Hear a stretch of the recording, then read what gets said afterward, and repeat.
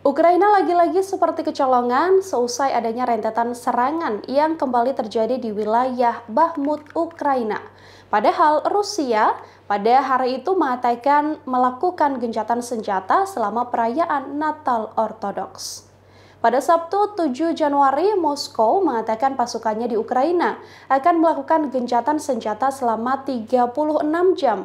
Hal ini diumumkan sendiri oleh Presiden Rusia Vladimir Putin meski Ukraina menolak ide tersebut. Bahmut saat ini diketahui menjadi fokus pertempuran dalam invasi Rusia ke Ukraina.